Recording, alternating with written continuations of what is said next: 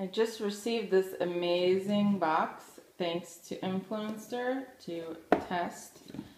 Let's see what's inside from Yves Saint Laurent. We have a card explaining the mascara, the volume effect Faux Cils. And then, let's see, a very nice packaging. And let's see what it looks like on the inside.